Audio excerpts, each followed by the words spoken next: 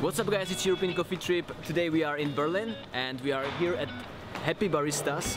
And we came to Happy Baristas because they do something called Nitro Coffee. And we want to actually explore what is it and how it's made. Yes.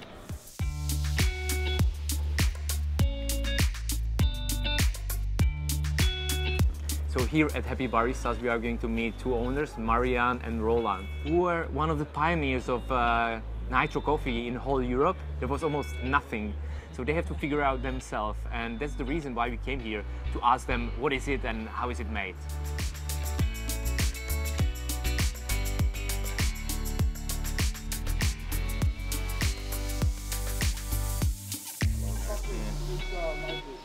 And we came actually here because we want to know a little bit more about the nitro coffee. It's something people heard about, something that maybe people tried, but what is actually nitro coffee for the people who have no idea what is nitro coffee? Simply put, um, I think we do cold brew coffee, which is charged with nitrogen and served on a tap like a beer. So the nitrogen, it gives the drink really this creamy, creamy mouthfeel. It gives it a really white, foamy head like a Guinness beer. Um, and it doesn't really affect the taste itself, but it affects the way you perceive the taste. So it kind of plays a little trick on your on your mind, and that's why it's very important uh, what what coffees do we choose for for the nitro drinks because we always have to then um, taste it as a final product after it's being pumped with the nitrogen and see how it actually really tastes like. I think when we first met and started talking about let's make a cafe together, we were looking for a specific thing that could set us apart.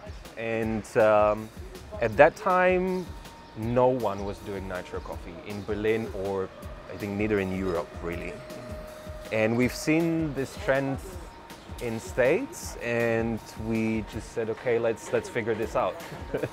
I think it was also, if you remember, one of the reasons why we wanted to do nitro coffee is to give the effect of a, of a coffee with with milk, but without having the milk in it, mm. um, to teach people that are drinking uh, milk coffees that you can actually drink a black coffee, but also get the texture and the sweetness that they would get out of a milk coffee.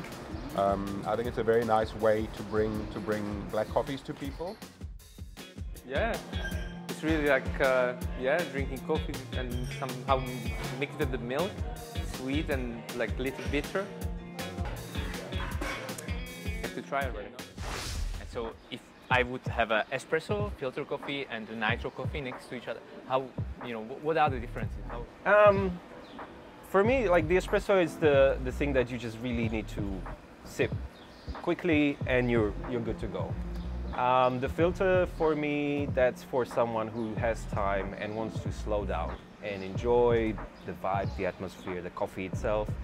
And the nitro is, um, I don't know, I never really thought about it. For nitro is just, yeah, it's a great summer drink, really. I think if I can add one way of looking at the difference, espresso, filter, or a nitro, maybe you could tie it into alcoholic drinks. So espresso, a shot, a filter, maybe a wine, because you want to be tasting the different filters yeah. that you have, and a nitro, a beer. Now I would like to ask you about actually the steps. I think the first is the, the coffee itself, choosing the right coffee, of course. Then, of course, next step, the recipe.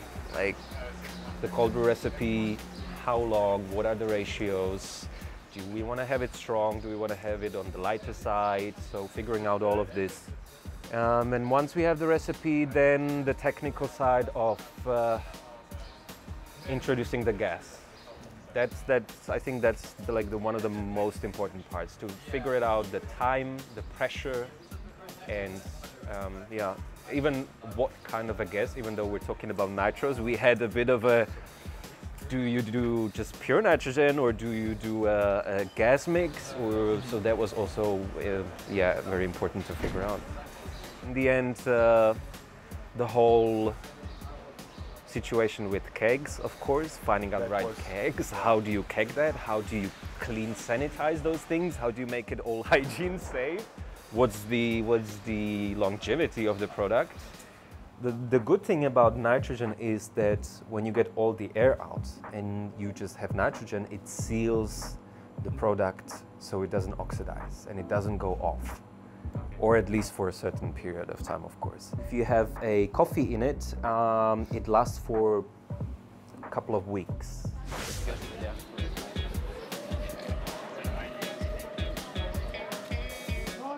The benefit, the benefit of having a nitro on tap, um, nitro brews on tap will be ease of ease of uh, service.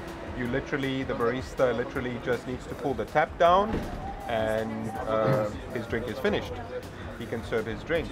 Obviously, the preparation and the production is, is another story, but that we do after hours. That's not something that the barista will do while the customer is waiting. Um, nitro brews are also very profitable drink. I think this is important in this time in the coffee industry where where our margins are under pressure. Um, so you're, you're talking about big batches, so you're getting you're getting good economies of scale as well when you when you when you're talking about larger batches of, of coffee and tea. So really, for the summer, a nitro brew is a fantastic drink for a, for a, for a, for a coffee shop to, to sell. And also, um, in terms of if we're talking about the coffee shop environment uh, space, it saves a lot of space because you don't need bottles in fridges. So you you only have the taps on top of your counter, and that's it. So there's a lot of in terms like saving on space.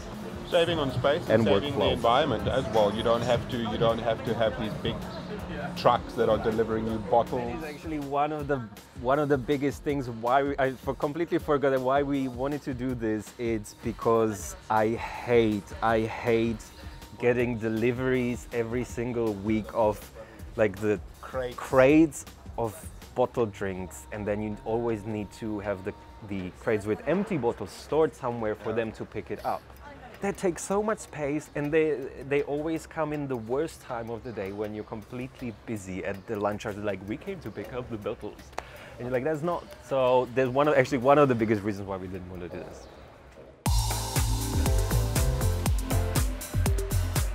I think uh, Nitro Coffee has a potential to teach people that do not know about coffee um, that there's so much more that you can do with coffee. No, I think having taps in, in coffee shops and serving drinks from a tap, I think that is one of the ways for coffee shops to go in future because it really, it just has so many advantages. And the nitros, like we said, we, we discovered the nitro tea and, uh, and we're pushing it even further with the nitro beers with coffee and lemonade. So there's a lot of options there that people will probably then look into and started experimenting more, started taking coffee as an ingredient and start looking for other ways in our industry that like the coffee shops can go.